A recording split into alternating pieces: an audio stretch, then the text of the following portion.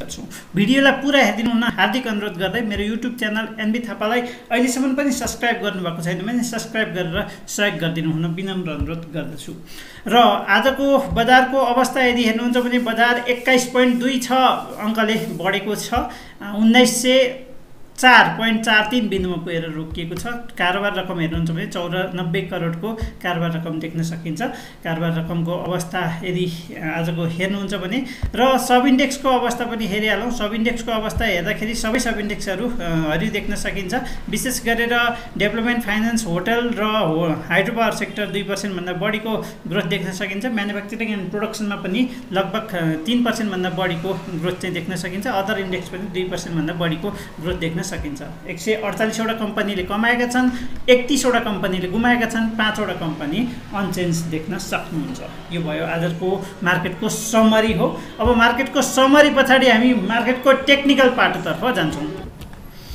मार्केटको technical पाटोमा लाग्नुभन्दा अगाडि यदि तपाईँ हाम्रो युट्युब च्यानलमा पहिलोचोटि हेर्दै हुनुहुन्छ भने कृपया सब्सक्राइब गर्न चाहिँ नबिर्सिनु होला र बजारको अवस्था यदि हेर्नुहुन्छ भने सेयर बजार जोखिमको क्षेत्र हो यहाँ गरिएको लगानी डुब्ने सम्भावना पनि हुन्छ। त्यसैले लगानी गर्नु पूर्व आफूले पनि अध्ययन र अनुसन्धान गरेर मात्रै सेयरमा लगानी गर्नुहोला भन्न चाहन्छु।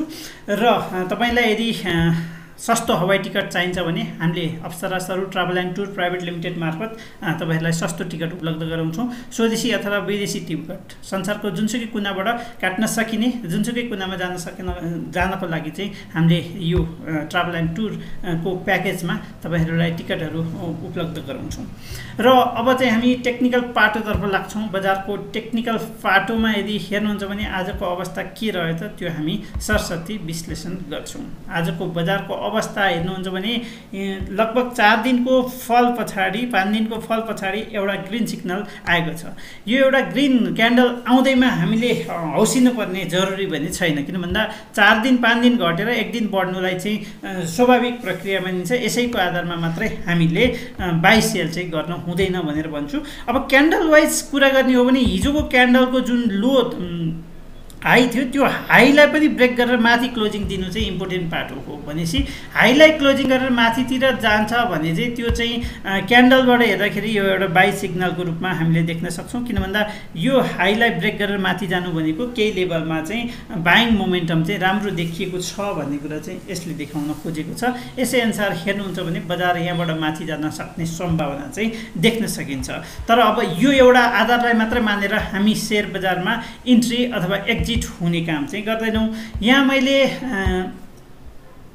लाइनबाट तपाईँलाई यदि देखाउन चाहन्छु भने मैले हिजो अस्ति पनि भनेको थिएँ बजार एउटा ट्रेन्ड लाइनमा छ र त्यो ट्रेन्ड लाइनमा हायर हाई र हायर लो बनाउँदै माथितिर गइरहेको छ। यो ट्रेन्ड लाइनलाई ब्रेक गरेर तल नआउँदासम्म हामी आत्तिहाल्नु पर्ने जरुरी छैन। त्यो आधारमा हेर्नुहुन्छ भने अहिलेको बजारको अवस्थामा यही ट्रेन्ड लाइनबाट अथवा यही ट्रेन्ड लाइनभन्दा माथिबाटै मार्केट फर्कन खोजेको छ। त्यो आफैमा स्वागतयोग्य छ भनेर बुझ्नुपर्ने हुन्छ। त्यसरी हेर्दाखेरि बजारको अवस्था चाहिँ यही लेभलबाट फर्कन सक्ने सम्भावना यहाँ देख्न सक्नुहुन्छ यहाँबाट मार्केट माथि गयो फेरि यही ट्रेन्ड लाइनमा आएर बस्यो र फेरि माथि गयो यही ट्रेन्ड लाइनमा आयो। एउटा हाई बनायो त्योभन्दा माथि अर्को हाई हायर हाई बनायो एउटा लो बनायो त्योभन्दा माथि अर्को लो बनाएर मार्केट फर्कँदैछ। भनेपछि हायर हाई र हायर लोको श्रृङ्खलामा मार्केट माथि जाँदैछ भन्ने कुरा चाहिँ बुझ्नुपर्ने हुन्छ।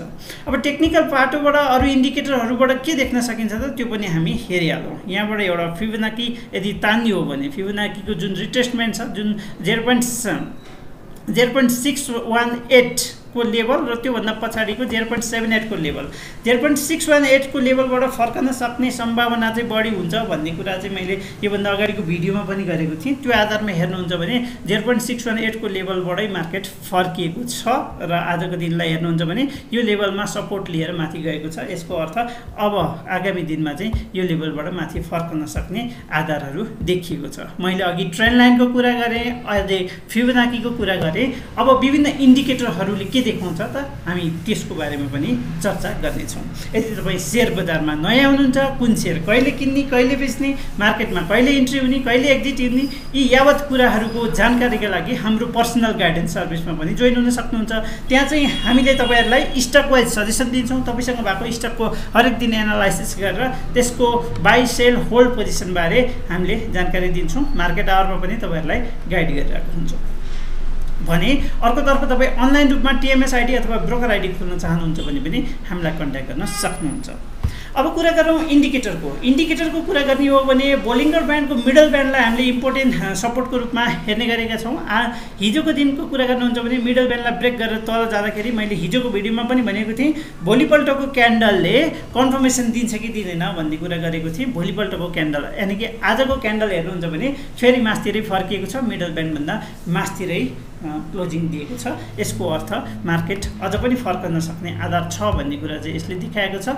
सुपर ट्रेन्डको कुरा गर्नुपर्दा सुपर ट्रेन्ड चाहिँ हामीले यहाँ नेगेटिभ देखिए पनि यो लेभलबाट फ्ल्याट भएर फेरि पोजिटिभ हुन सक्ने सम्भावना चाहिँ यसले देखाएको छ भने इचिमाको क्लाउडबाट हेर्नुहुन्छ भने कन्भर्जन लाइन र ब्रेस लाइन कहाँ छ त भन्दाखेरि आज चाहिँ बेस लाइनबाट मार्केट माथि क्लोजिङ दिएको छ। त्यो एकदमै राम्रो कुरा हो भन्ने कुरा चाहिँ देखाएको छ। यो चाहिँ पोजिटिभ कुरा हो भन्ने कुरा चाहिँ देखाएको छ। मार्केटको यदि अवस्था हेर्नुहुन्छ भने क्लाउडको अवस्था हेर्नुहुन्छ भने क्लाउड बिस्तारै जुन लिडिङ लाइन छ यो लिडिङ लाइन चाहिँ बिस्तारै न्यारो हुँदै गएको छ। यसले चाहिँ समग्र बजारमा आगामी दिन चाहिँ पोजिटिभ देखाएको छ भन्ने कुरा बुझ्न सकिन्छ। भने ल्यागिङ एक्सपान जुन छ त्यो पनि क्यान्डलभन्दा माथि नै देखिएको छ। त्यसले गर्दाखेरि पनि केही सपोर्टिभ हामीले अवश्य पनि देख्न सक्छौँ। भने फाइभ डेज मुभिङ एभरेजबाट हेर्दाखेरि अझ पनि फाइभ डेज मुभिङ एभरेजभन्दा माथि तल भएको कारणले गर्दा एक दुई दिन अझ कुदेर यो लाइनभन्दा माथि गएपछि मात्र थप कन्फर्मेसन लिन सक्ने सम्भावना चाहिँ देखिन्छ। हामीले सेयर मार्केटमा मात्रै नभएर कमोडिटी मार्केटमा पनि ट्रेडिङ गराउँछौँ। तपाईँहरू यदि कमोडिटी मार्केटमा गोल्ड कपर सिल्भर र क्रुड ओइलको ट्रेड गर्न चाहनुहुन्छ भने हामीलाई कन्ट्याक्ट गर्न सक्नुहुन्छ। त्यो कमोडिटी मार्केटमा चाहिँ फुल्ली अटोमेटेड हुन्छ। त्यहाँ हामी बाई सेल दुवै तरिकाले टु वे मार्केटबाट काम गर्छौँ र त्यसको लागि चाहिँ तपाईँले विभिन्न इन्डिकेटरहरू युज गरेर कसरी ट्रेड गर्ने भन्ने कुराहरू हामी फ्री क्लास मार्फत पनि सिकाइरहेको हुन्छौँ। त्यसमा तपाईँले इन्ट्राडे पनि गर्न सक्नुहुन्छ फुल्ली अटोमेटेड सिस्टमबाट गर्न सक्नुहुन्छ। तपाईँलाई यदि यस्तो सिक्न चाहनुहुन्छ भने हामीलाई कन्ट्याक्ट गर्न सक्नुहुन्छ।